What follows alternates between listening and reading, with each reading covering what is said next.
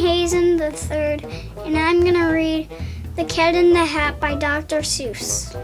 The sun did not shine, it was too wet to play. So we sat in the house all that cold, cold, wet day. I sat there with Sally, we sat there, we two, and I said, How I wish we had something to do.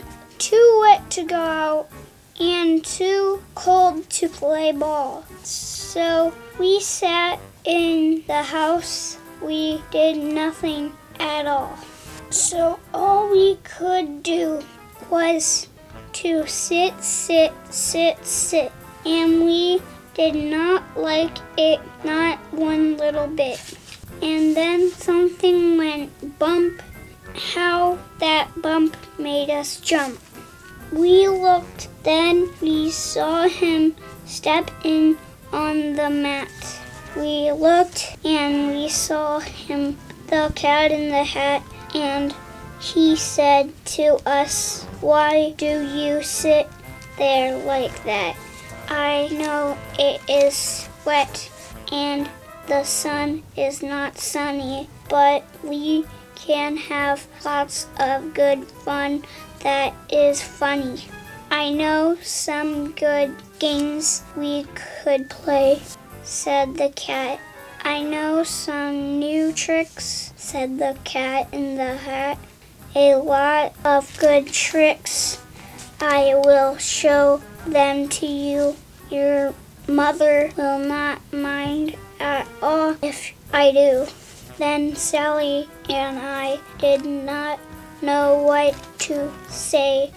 Our mother was out of the house for the day, but our fish said, No, no, make that cat go away. Tell that cat in the hat you do not want to play. He should not be here. Now, now, have no fear. Have no fear, said the cat. My tricks are not bad, said the cat in the hat. Why, we could have lots of good fun if you wish with a game that I call Up, Up, Up with a Fish. Put me down, said the fish. This is no fun at all. Put me down, said the fish. I do not wish to fall. Have no fear, said the cat. I will not let you fall. I will hold you up high as I stand on a ball with a book on one hand and a cup on my hat. But that is not all I can do, said the cat. Look at me, look at me now, said the cat, with a cup and a cake on top of my hat. I can hold up two books. I can hold up a fish and a little toy ship and some milk in a dish. And look, I can hop up and down on the ball. But that is not all. Oh no, that is not all. Look at me, look at me, look at me now. It is fun to have fun, but you have to know how. That is what the cat said. Then he fell on his head. He came down with a bump from up there on the ball. And Sally and I, we saw all the things fall. And our fish came down too. He fell into a pot. He said, Do I like this? Oh, no, I do not. This is not a good game, said our fish as he lit. No, I do not like it, not one little bit. Now look what you did, said the fish to the cat.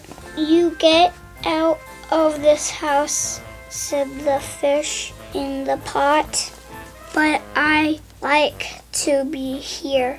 Oh, I like it a lot, said the cat in the hat to the fish in the pot. I will show you another good game that I know. And then he ran out, and then, fast as a fox, the cat in the hat came back and with a box. In this box are two things, and I call them Thing 1 and Thing 2. These things will not bite you, they want to have fun. Then out of the box came Thing 2 and Thing 1. And Sally and I did not know what to do. So we had to shake hands with Thing 1 and Thing 2. We shook their two hands, but our fish said, No, no, those things should not be in this house. Make them go. Have no fear, little fish, said the cat in the hat. These things are good things. And he gave them a pat. They like to fly kites, said the cat in the hat. No, not in the house, said the fish in the pot. They should not fly kites in a house. They should not. Oh, the things they will bump. Oh, the things they will hit. Oh, I do not like it, not one little bit. We saw Mother's new gown, her gown with the dots that are pink, white, and red. Then we saw one kite bump on the head of her bed. And I said, I do not like the way that they play. If Mother could see this, oh, what would she say? Then our fish said, Look, look. And our fish shook with fear. Your mother is on her way home. Do you hear? So, as fast as you can, think as something to do. You will have to get rid of thing one and thing two. As fast as I could, I went after my net and I said with my net, I can get them, I bet. Then I let down my net. It came down with a plop, and I had them at last. Those two things had to stop. Now you do as I say. You pick up those things and you take them away. Oh dear, said the cat, you do not like our game? Oh dear, what a shame. Have no fear of this mess, said the cat in the hat. I always pick up all my playthings, and so I'll show you another good trick that I know.